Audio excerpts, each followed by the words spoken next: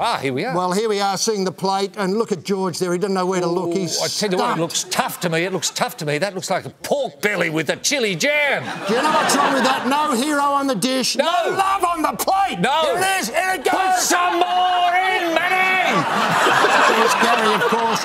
Gary trying to fight Yeah. hunger. George No, no, in there looking for no, someone It's to too tough. It's too tough. You can't eat that.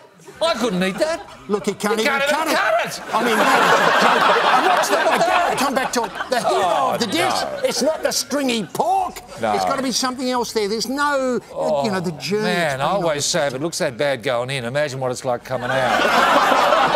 And here's he a bloke who knows that sort of rubbish, that sort of nonsense. Look, I- fish uncooked. Can I point out, I hate this bloke. I think it's Gordon, Gordon Ramsay, yes. All he does is hurl fish. Hurl food. I know. I don't like that. It encourages young kids at home. They Yeah. see this on television Yeah. and all of a sudden they're fiddling with their food. They're looking at mum and dad. Yeah. Mum turns towards Char. There you see. That just encourages bad behaviour. I hate It it. does, it does, it does. Anyway, whatever they've cooked up, they've come out with, and uh, this looks to be some sort of dessert, a panna cotta, HG. Yes. I hope it's got a bit of wobble. Well, what You've is got, it? to you've got to have wobble with a panna cotta. I Let's a Matt knows. Oh, Here you go.